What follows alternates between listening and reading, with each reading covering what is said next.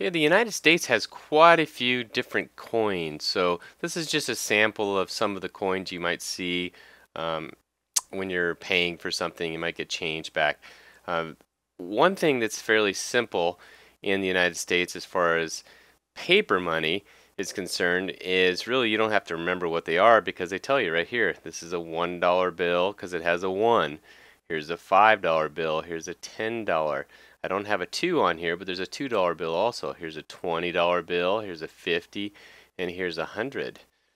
Now the coins get a little bit more difficult. If you flip these over, it tells you what they are, but on the front side, it really doesn't tell you.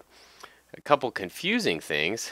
This one here is an old um, Eisenhower dollar, and this is so this is one dollar here, but this new one, Sacagawea one here, this is a dollar also.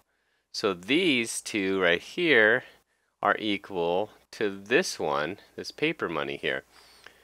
Now, this one, a little bit big or bigger than a quarter, smaller than a dollar, is a um, 50 cent piece. So this is one half of a dollar or 50 cents. Okay, so worth 50 of these things right here, 50 pennies, right? Because a penny is one cent. And we have a dime. Should I be writing these? This is penny. Here is a dime. This one is worth 10 pennies or 10 cents. Or we can get 10 of these together and make $1. Here's a nickel.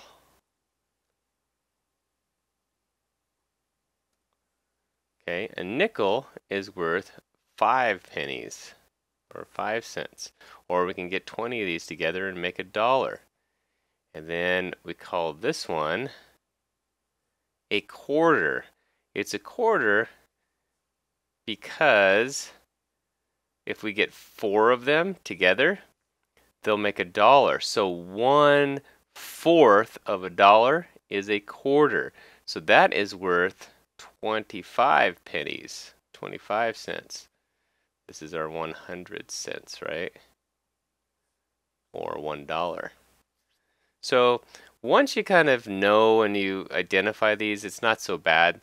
Then basically you're just dealing with you know, you're dealing with 1, 5, 10. That makes it easy, right, to add.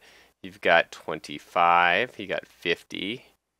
And then then it gets slightly tricky, but not too bad because all of these are, if we say 1, it's really 1 times 100 cents, right?